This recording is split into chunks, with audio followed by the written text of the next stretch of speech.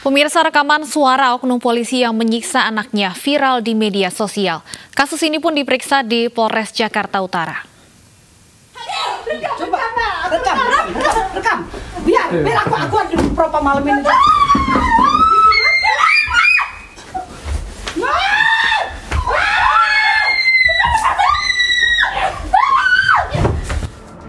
Postingan Instagram at Aurelia Renata menghebohkan dunia maya. Dalam postingan instastorynya, Aurelia juga menjelaskan jika ia dan sepupunya dianiaya oleh ayahnya yang merupakan oknum polisi. Tidak hanya itu, handphone Aurelia juga pecah akibat dibanting. Menurut Aurelia, penganiayaan dilakukan karena ayahnya selingkuh. Istri oknum polisi pun sudah melaporkan hal ini ke kepolisian Jakarta Utara agar diproses lebih lanjut. Sementara suaminya, Kombes Pol Widodo, juga melaporkan ke polisi karena digigit anaknya. Sementara semua LP ditarik ke Polres Jakarta Utara dan sedang dievaluasi dan didalami ya.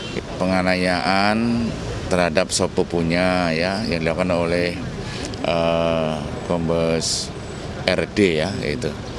Kemudian melihat seperti ada penganiayaan anaknya kemudian melerai dengan menggigit ya pada bapaknya. Kejadian yang menghebohkan dunia maya ini pun diselidiki kepolisian. Tim Liputan News melaporkan. Untuk mengetahui informasi selengkapnya, kita berbincang dengan Kapolres Jakarta Utara, Kombes Pol Budi Herdi Susianto. Selamat siang, Kombes Budi. Selamat siang, Mbak Stefani. Baik, Pak Budi langsung saja bagaimana sejauh ini penyelidikan terhadap dugaan penganiayaan terhadap keluarga dari oknum polisi yang terjadi di kawasan Kelapa Gading, Jakarta Utara. Baik, uh, jadi benar Polres Metro Jakarta Utara dan jajaran telah menerima uh, dua laporan polisi. Uh, yang pertama, laporan polisi yang dibuat oleh uh, Ibu LF itu dibuat di Polsek Kelapa Gading pada hari Sabtu sekitar pukul 01.30 waktu Indonesia bagian Barat di mana Ibu LF ini menceritakan adanya dugaan penganiayaan maupun KDRT yang menimpa anak dan keponakannya uh, yang terjadi di uh, Jalan Pegangsaan 2 uh, Kelapa Gading Jakarta Utara pada hari Jumat sekira pukul 22.00. Kemudian yang kedua, kami juga menerima laporan dari saudara RW ya ini pada hari Sabtu tanggal uh, 25 sekira jam 11.30 waktu Indonesia Barat yang melaporkan bahwa yang bersangkutan mengalami uh, penganiayaan maupun KDRT yang diduga dilakukan oleh anak maupun ponaan yang bersangkutan. Demikian Mbak Stefani. Baik, jadi sudah ada laporan ke Polsek setempat. Tindak lanjutnya sejauh ini bagaimana Pak Budi? Apakah sudah diminta untuk melakukan visum dan sebagainya? Ya, jadi mengingat eh, laporan itu terkait KDRT di mana Polsek eh, itu tidak memiliki unit perlindungan perempuan dan anak sehingga untuk Polsek ulangi untuk laporan polisi yang di Polsek itu kemudian kami tarik kami tangani di unit per, eh, perlindungan perempuan dan anak yang ada di Satreskrim Polres Metro Jakarta Utara. Kemudian eh, dari laporan tersebut kami kemudian melakukan upaya. Yang pertama adalah kami mengantar korban untuk membuat visum ke rumah sakit dan uh, dua-duanya. Yang pertama laporan uh, dari uh, saudari LF itu kami juga sudah uh, mengantar untuk membuatkan visum.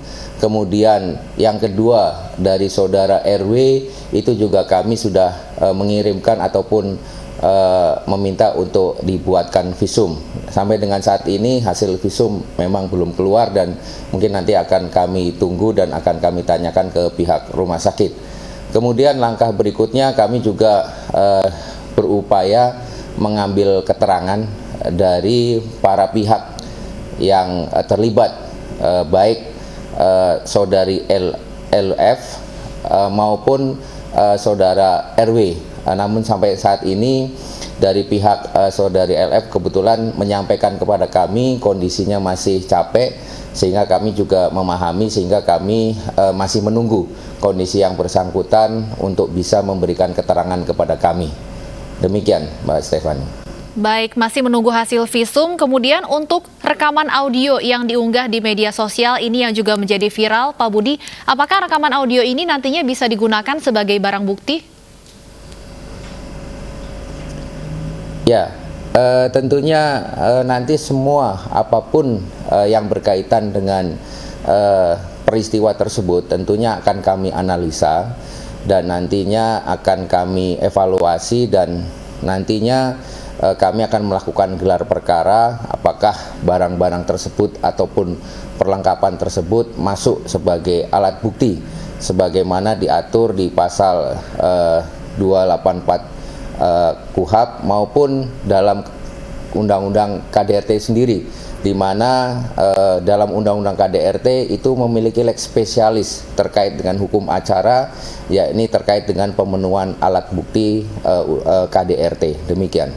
Untuk oknum pelaku yang informasinya ini juga berstatus sebagai polisi, sudah ada pemeriksaan, Pak Budi? Uh, jadi uh, begini, pada prinsipnya kami dari uh, Polres Metro Jakarta Utara menganut asas equality before the law, artinya persamaan di muka hukum.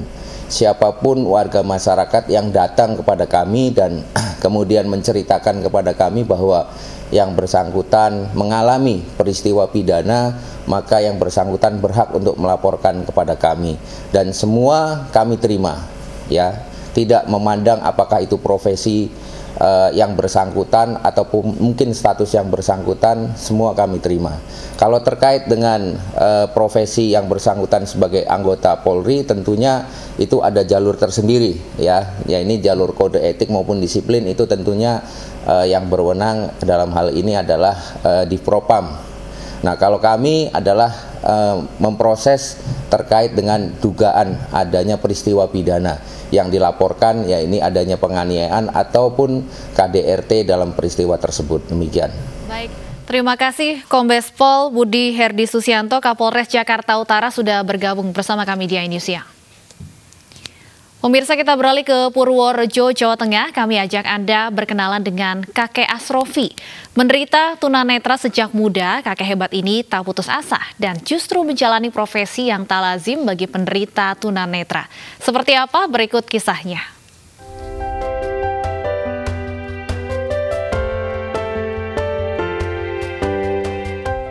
Wah, hebat ya. Meski usianya sudah lebih dari 60 tahun, tapi kakek Asrofi tetap lincah.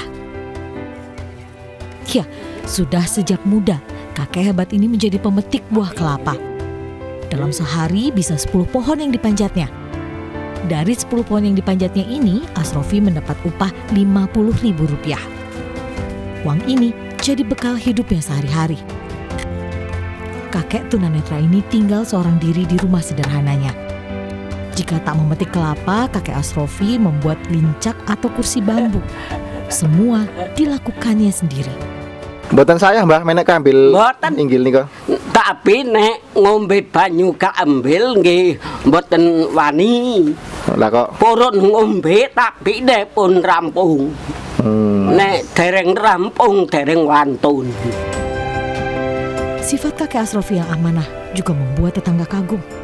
Di tengah segala keterbatasannya, kakek Asrofi tidak hanya berpangku tangan dan meminta bantuan.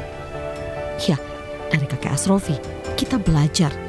Tidak ada kata menyerah, apa pun masalah yang dihadapi. Dari Purworejo, Jawa Tengah, Johar Toyo, iNews melaporkan. Ya, seperti kakek Asrofi, pandemi COVID-19 bukan menjadi alasan untuk tidak produktif. Tidak terkecuali bagi para pemulung di kawasan Kampung Bayam, Kecamatan Pademangan, Jakarta Utara. Meski di tengah keterbatasan dan terdampak wabah corona secara ekonomi, mereka berusaha bertahan hidup dengan mengolah sampah menjadi sesuatu yang bernilai ekonomis.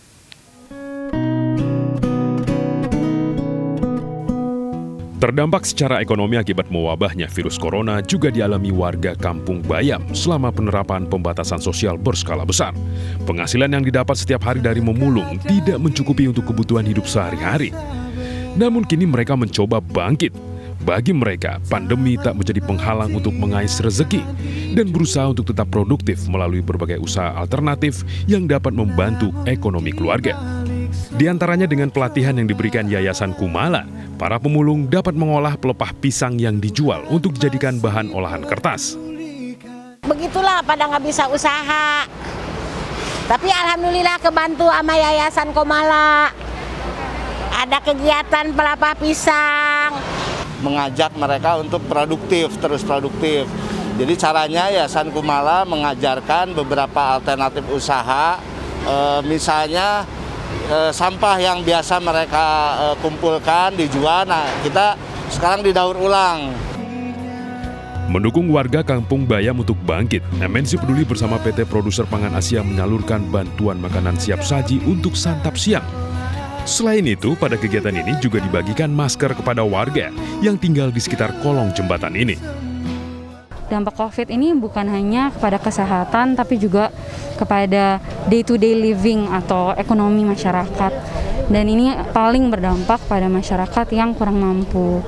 Uh, pada masyarakat yang terutama rely on um, upah hariannya itu kayak hariannya untuk mereka bisa hidup dan makanya untuk banyak pekerja harian yang kehilangan pekerjaan ini akan sulit sekali gitu untuk mereka bisa tetap menghidupi keluarga. Makanan yang dibagikan dibeli dari pelaku UMKM untuk membantu usaha mereka tetap bertahan di tengah pandemi melalui inisiatif Kami Bisa Kami Peduli.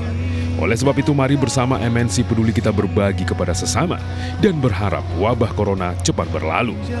Tim Liputan iNews melaporkan.